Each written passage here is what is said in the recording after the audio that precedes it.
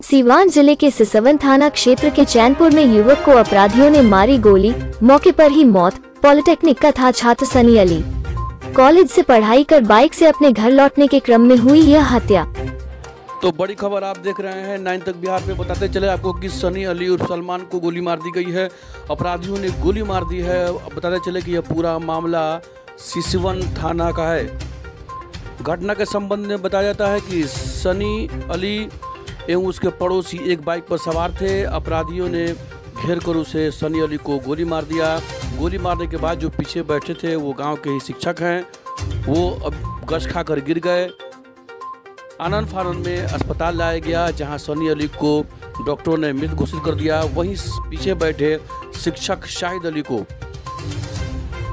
काफ़ी सदमा लगा है जिनका उपचार चल रहा है। घटना की सूचना मिलते ही मौके पर पुलिस पहुँची है और मामले की छानबीन में जुट गई है। वहीं श्रीनिवास यादव समाज सेवी जो हैं वो सिवान सदर अस्पताल पहुँचे हैं और जो लोग हैं उनकी अ, मदद कर रहे हैं।